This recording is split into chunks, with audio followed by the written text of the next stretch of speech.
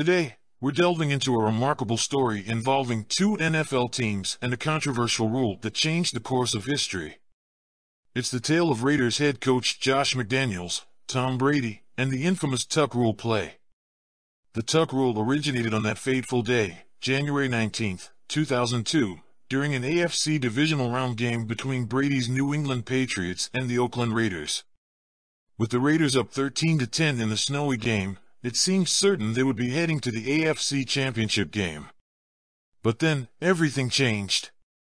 McDaniels, in a playful twist, recently suggested that before Tom Brady can officially become a minority stakeholder in the Las Vegas Raiders, he must admit that the controversial play was indeed a fumble. During the game, Raiders legend Charles Woodson sacked Brady, causing him to fumble the ball. The Raiders recovered, seemingly sealing their victory. However, according to the infamous tuck rule, any intentional forward movement of the arm starts a forward pass, even if the player loses possession of the ball while attempting to tuck it toward their body. In this case, Brady's arm was in motion as he was attempting to tuck the ball, anticipating the imminent hit from Woodson. If Brady had cleanly tucked the ball and then had it knocked out, it would have been ruled a fumble. Instead, the tuck rule allowed the Patriots to maintain possession, tie the game, and eventually win in overtime, dashing the Raiders' Super Bowl dreams.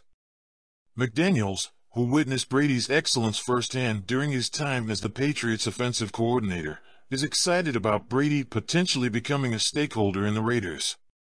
However, he playfully insists that Brady must acknowledge the fumble before joining Raider Nation officially. It's worth noting that the Tuck rule is no longer in effect in the NFL. Teams voted overwhelmingly in 2013 to abolish it, with only the Pittsburgh Steelers opposing the decision. Nevertheless, the controversy surrounding that pivotal play remains etched in the memories of Raiders fans. And that's it for today's trivia on the Raiders' Josh McDaniels joking about Tom Brady admitting the fumble on the infamous Tuck Rule play. We hope you enjoyed this story from football history. If you found this video entertaining, don't forget to give it a thumbs up, share it with your friends, and subscribe to Trivia Time for more captivating sports trivia. Thanks for watching, and we'll see you next time.